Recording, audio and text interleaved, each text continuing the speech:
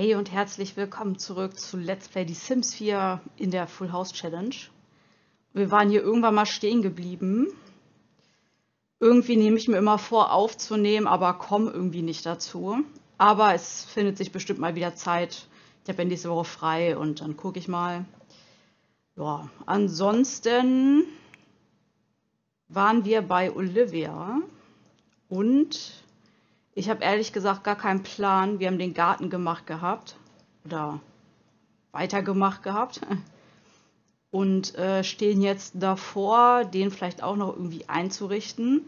Wobei wir ja auch noch den Keller haben. Meine Stimme, ey. Dann haben wir unseren Fitness-Wellness-Bereich eingerichtet. Hier haben wir noch so ein Hobby-Dart, die Werkbank, und was wir uns dann noch alles äh, erfinden wollen, ist auch gut gesagt. Aber unser lieber, ich glaube, der Damien war das, ne? der seine ganzen Klamotten hier überall liegen lässt. Naja, was soll's. So, ich mache jetzt einfach mal weiter. Und wir schauen mal, was bei ihr so ansteht. So, Level 8. Sie hat, glaube ich, schon eine Fähigkeit auf Level 10. Genaues Kochen natürlich gut ist. Und den Lebenswunsch hat sie auch schon erfüllt. Ja, nice. Dann müssen wir nur noch den Beruf bei ihr hochbringen. Großartige Erzählerin, Mensch. Wollte aber mal gucken. Profi-Faulenzer. Keine Angst davor, zurückgestuft oder entlassen zu werden. Kaum hungrig, Gelehrte. Vielleicht gucken wir mal vielleicht so unternehmerisch, dass wir jetzt langsam da mal hochkommen, unabhängig. Und wir nehmen unabhängig, weil dann dieses Sozialbedürfnis langsamer sinkt. Dann haben wir schon mal einen Sim, der ein bisschen zufriedener sein wird in seinem Dasein, eventuell. Okay. Und wir müssen gucken, was wir hier noch draus machen. Wir haben jetzt ja noch so einen kleinen Raum.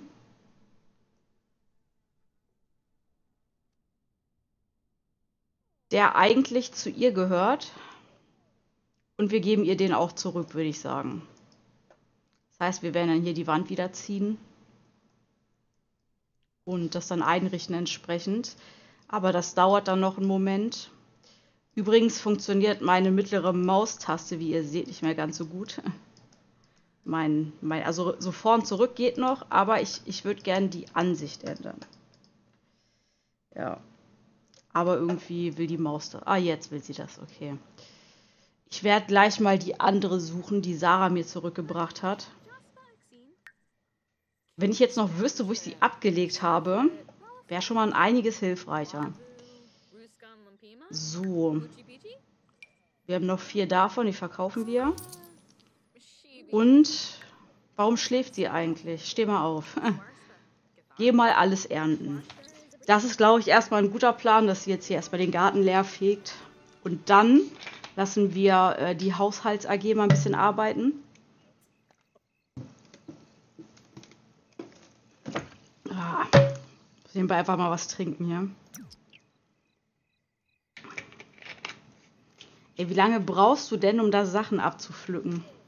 Aber mit einem Griff pflückt sie gleich zwei Sachen. Das ist eine durchaus gute Gabe, glaube ich. Ja. So. Hier lacht wieder irgendjemand beim Schlafen, glaube ich. Claudio ist dann auch mal zu Hause.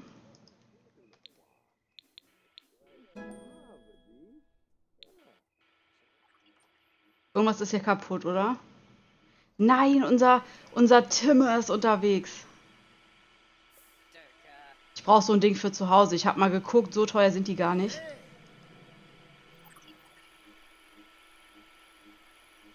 Wie der hier rumlasert, ist das cool.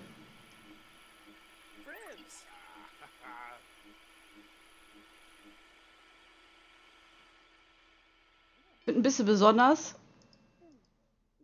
dass der immer hier lang fährt und dann ist der, der ganze, das ganze Wohnzimmer ist sauber. Verbessern. Kernchronometer. Okay. Ähm, ach, er hat seine Badehose an. Ich dachte gerade, er steht hier einfach in Unterwäsche. So, was musst du denn noch mal gemacht haben? Essen kochen. Das kriegen wir hin. Servier mal einen Cäsarsalat. Bitte. Mein äh, linker Mausklick spinnt jetzt schon manchmal ein bisschen rum. Äh, Pasta danach. Warum nicht?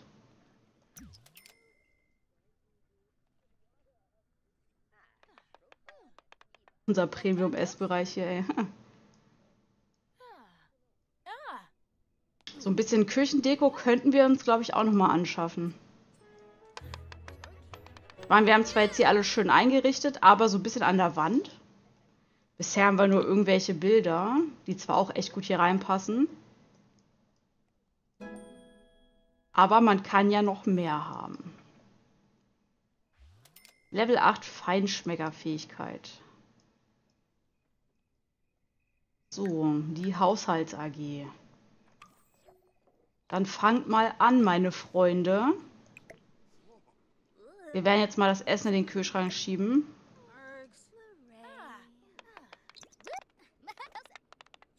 So, und dann können die Leute nämlich sauber machen. Aber es ist, ist natürlich klar, ne? Ich habe ja angegeben, dass die Leute kochen sollen. Ich glaube, ich nehme das jetzt mal raus. So. Backen. Backen nehme ich auch mal raus. Gibt es noch was, was man hier machen kann?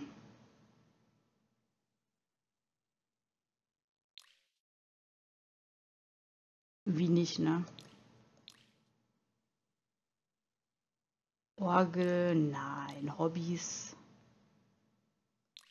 Shit, wir müssen die Sportgruppe noch machen. Fällt mir gerade ein. Unfug und Chaos. Alienkräfte verwenden. Nee, das nicht. Draußen. Frösche suchen ist auch nicht schlecht. Durch Labyrinth irren.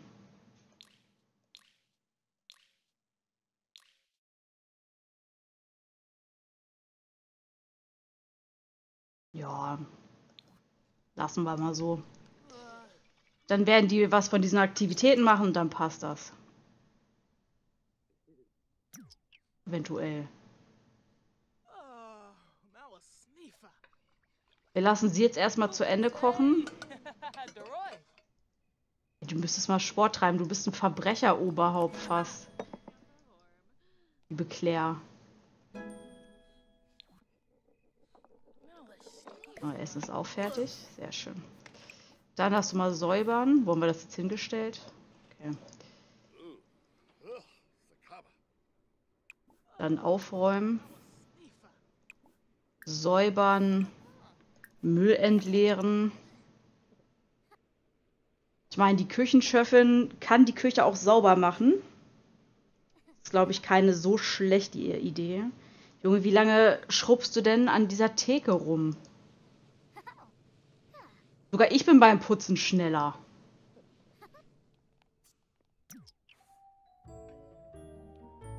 Interessant, dass sie das zuerst sauber macht. Ach, das haben wir, glaube ich, auch angeklickt, dass sie das tun soll, oder? Aber auch interessant, dass sie einfach direkt dahin geht. Oh, wir haben die Hecke hier noch gar nicht weitergeführt. Ach ja, da war ja was. Da war ja was. Ich würde dreist sagen, wir machen das jetzt nochmal schnell. Wir haben ja Zeit dafür. So. Dann nochmal schnell den Move Objects Sheet.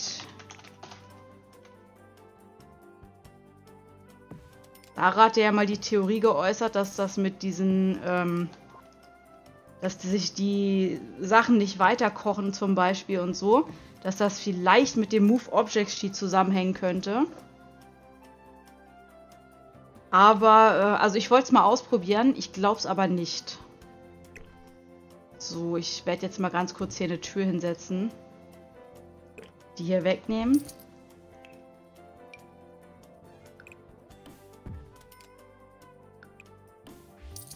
So, und dann können wir nämlich jetzt hier ihr Zimmer wieder einrichten. Halt. Das müssen wir auch nochmal umschieben. Ups Hätten wir ja fast irgendwo was geklaut. Wobei man ihr Zimmer auch ein Tickchen größer machen könnte. Vielleicht.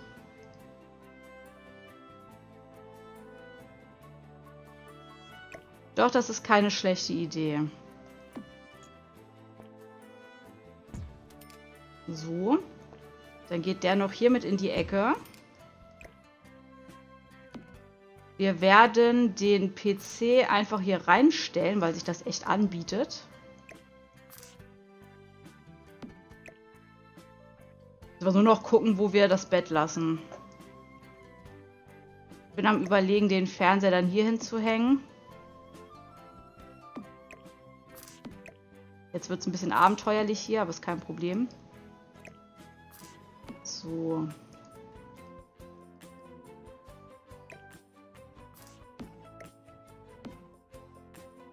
Dann...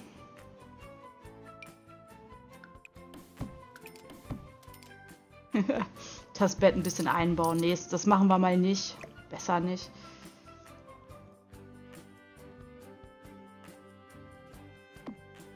Ja, wobei der Fernseher, dann hat er so einen coolen Hintergrund, wäre auch mal eine Idee.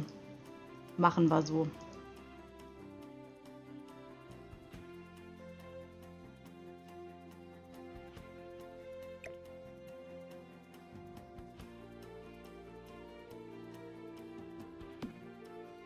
Jetzt nur die Frage, wo wir Sofa und so hinstellen.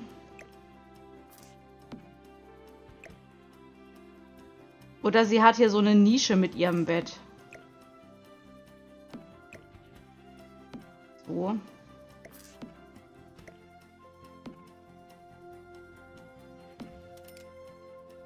Und dann könnte man mal so mit Halbwänden vielleicht ausprobieren.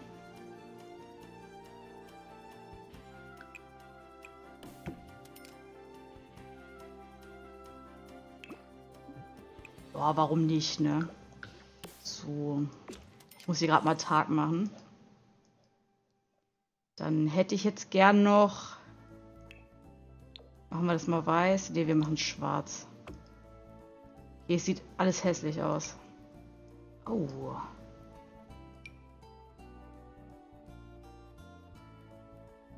Dann haben wir natürlich auch solche Möglichkeiten. Ja, wir machen das einfach so. Sehr extravagant, aber egal.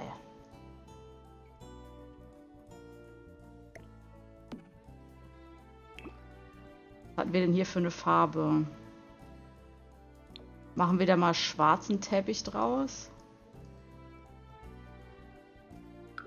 Stellen hier noch eine Blume in die Ecke.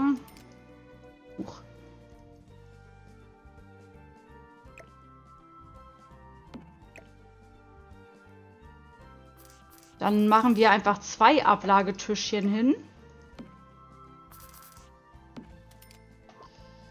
So.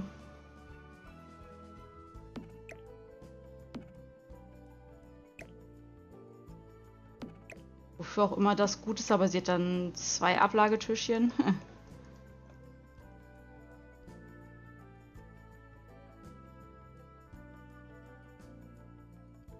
So, haben wir mal was Neues gebaut, ne? Dann müssen wir hier noch die Wand entfernen und hier. Und sie kriegt ihre Tür wieder. Und wir werden das Zimmer jetzt noch blau machen. Und hier noch so einen Vorhang vorhängen.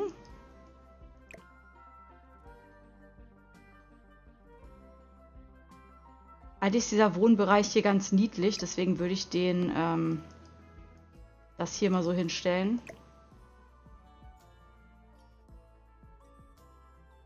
Dann hat sie hier so ein bisschen Reisesachen. So.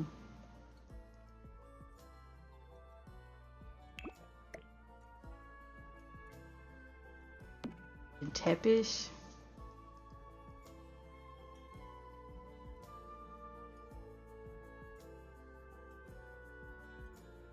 Kann man hier natürlich noch irgendwas hinpacken. So, wir werden diese beiden Trikots jetzt einfach nochmal verkaufen.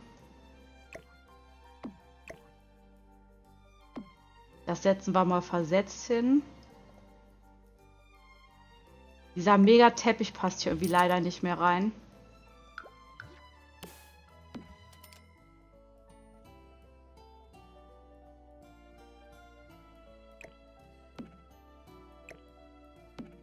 So. Dann kriegt sie noch weiße Laternen, wollte ich gerade sagen, weiße Lampen.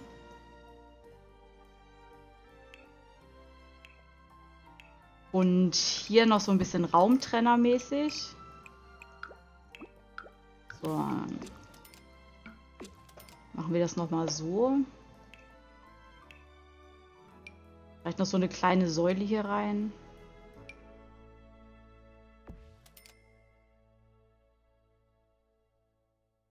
Von außen sieht man das nicht, ne? Nee.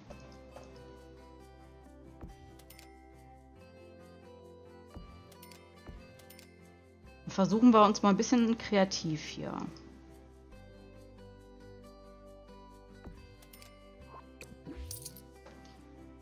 Wir können nämlich auch den anderen... Wir machen erstmal alles so.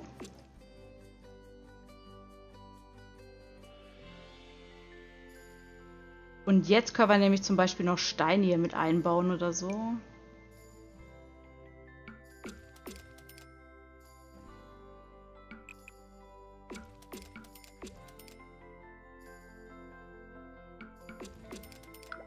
Dann hier am Kamin vielleicht noch.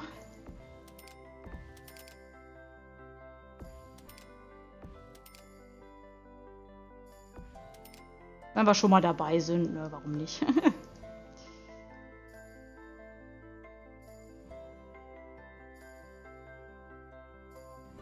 ja, das hat gleich was. Jetzt könnten wir aber, glaube ich, hier noch so eine Lampe vertragen. Was haben wir denn hier Geiles? Boah. Ja, sie braucht so ein Ding hier. Ich, ich werde jetzt den Rest hier mal wegmachen. Nein, so meine ich das nicht. So. Das sieht voll gut aus, das Ding. Seht ihr das noch in Blau?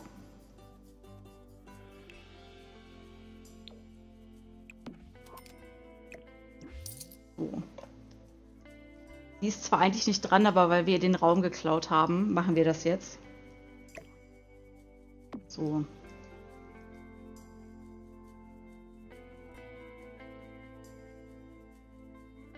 Dann würde ich es erstmal so... Achso, wir wollten ja noch eine Lampe hier reinstellen.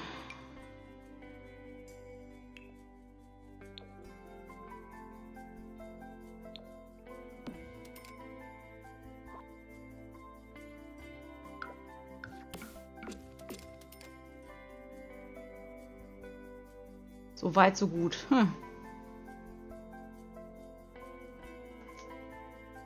Dann können wir wieder weiter. Automatisch Lichter, alle Lichter.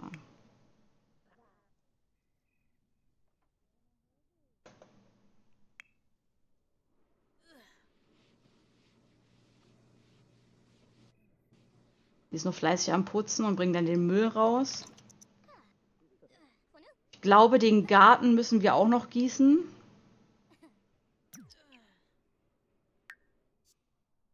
Wir kommen hier nicht äh, von der Stelle mit ihr irgendwie. Ne? Ich glaube, wir sind schon ein bisschen länger bei ihr, so gefühlt.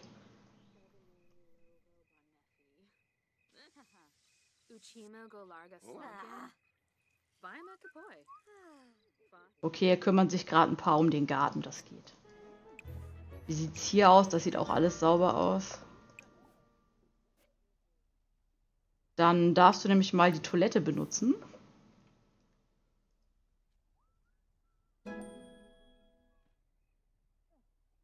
Der Besieben der Gartenfähigkeit. Schön. So, nach dem Benutzen der Toilette gehst du einfach mal duschen. Steh ruhig ein bisschen planlos rum, das ist überhaupt kein Problem. Dann gibt es Abendbrot für dich, und zwar einen Cäsarsalat. Äh, morgens um drei. Das ist ganz normal. Und sie muss erst in zwei Tagen arbeiten. Dafür hat sie alles dafür erreicht und wird dann eventuell auch befördert. Mit Glück.